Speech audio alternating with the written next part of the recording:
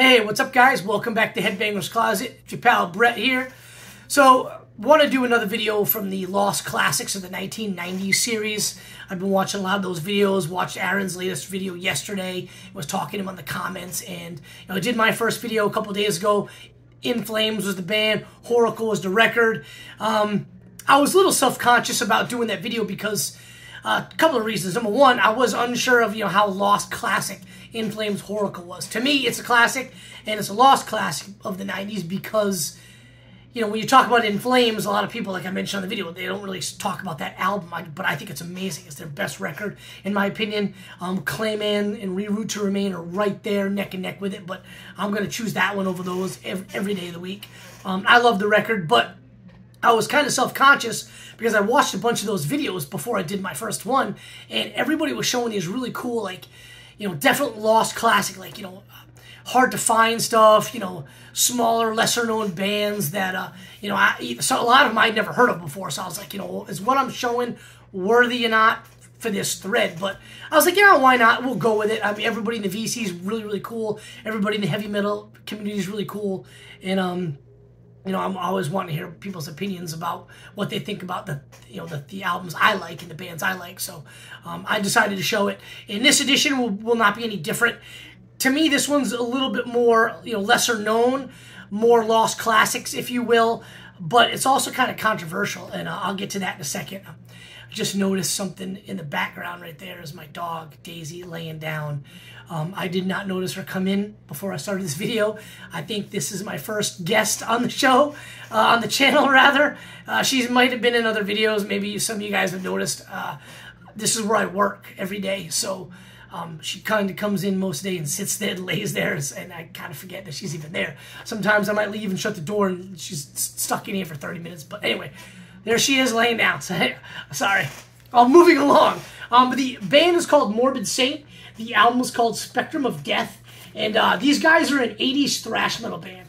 They formed uh, in Wisconsin in the early 80s. But what's kind of weird about these guys is they didn't put out anything in the 80s. I mean, they got a, a, demo. The opening track on this this album is called Lock Up Your Children. Best song on the record, in my opinion. Um, and it came out as a demo with this album, like, and also this album in 1989. But here's the thing none of this was released in physical format to the 90s and the 2000s. So to me, this is a lost classic of the 90s. I'm going to categorize it as that because it was released, I think, in 91, 92, like in Mexico and Greece, and then like a little bit later in the 90s in like in other countries. I don't think it came to the U.S. till the late 90s or 2000s, if I'm not mistaken. But um, 80s thrash band. I mean, check out the photo right there. You can tell those guys are straight out of the 80s. Um, what's different about these guys is it's it's all thrash. I mean, there's not a pause in the thrash on this record. They've got another album that Discogs, Wikipedia, Worship Metal, they're all saying that album, uh, which is called um, Destruction Symptom, came out in 2015. Now you can check them out on Spotify. It's a little different now. A couple years ago, and I, and I discovered this band probably like in mid 2000s. Um, completely by accident, and, and that's going to go go down a rabbit hole that I don't want to waste everybody's time on. We're already over three and a half minutes, um, but I discovered this in, in, in like the mid 2000s. This band um, for my love of 80s thrash metal.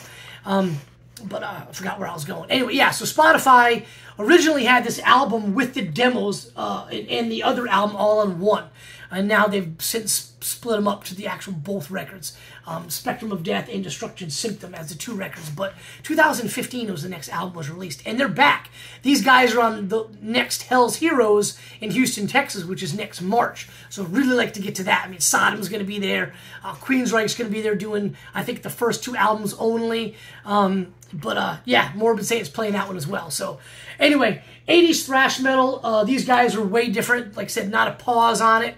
Different than the Bay Area thrash movement. These guys sound a lot like Nuclear Assault meets Kreator. Um, really heavy on the European influence, which is kind of strange because these guys started so early a lot of those European thrash bands were kind of starting around that time as well. But you kind of figure these guys' influences would be more along the lines of like your your Metallica and Slayer, and like Anthrax, you know, stuff like that.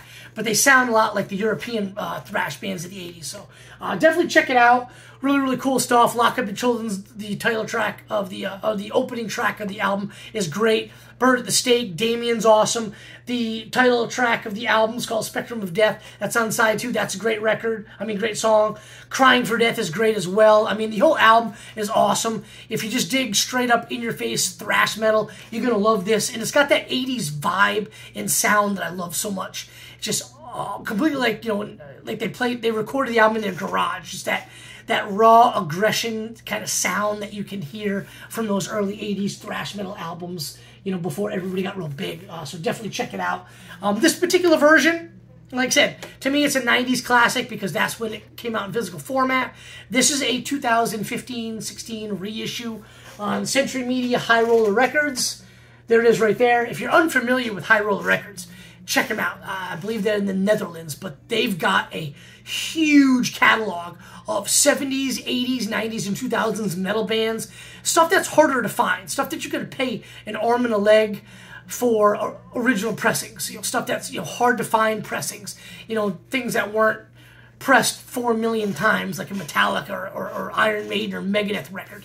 It's harder to find stuff where you can pay a hundred bucks you know 80 to 100 bucks for original or you can pay 30 to 40 bucks for one of like the 10 different colored var- colored variants you're going to get from high roller so let's check this one out show you guys this.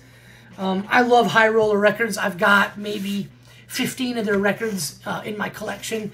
And like i said perfect if you don't want to spend a boatload of money and a boatload of time looking for a decent copy of something that came out and was released in Germany only in 1984. Um, High Roller Records is the way to go. So, um, like they put out in pretty much all of their releases, this is the catalog. Uh, kind of their High Roller Records logo right there, pretty cool. And this would have been 2015, 2016 when this one came out, so the catalog's even bigger now. You can go on their website, or you can pretty much find everything that they put out. Somebody's got it on Discogs.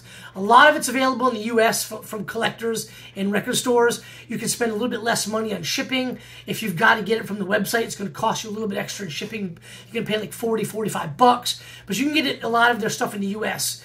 for like 35. Uh, but so I highly recommend picking them up. They're awesome. They sound amazing. They look great as well. And High Roller Records does an awesome job with inserts like this one right there, and then the lyrics, and they also give posters. Um, I'll have to show more stuff from my collection from High Roller Records. I really dig that record company. They do such a great job. So here's the poster, awesome put on the wall. Just the album cover. And then here's the record right here. This is one of like six different versions they had for this.